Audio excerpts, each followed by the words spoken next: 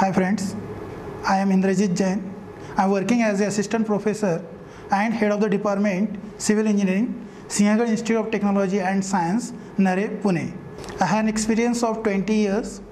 I have completed my graduation from Nagpur University, post graduation from COEP in ME Town Planning, and also completed ME from Sinhgad in Structures. I was a university rank 1 from SPPU University. I am pursuing my PhD from Government College of Engineering, Aurangabad. I am the member of various professional societies, Institute of Engineers, Aeronautical Society of India, uh, Indian Society of Hydraulics. I have found of teaching and learning. I have my main motto is development through education. So I am continuously trying to achieve it.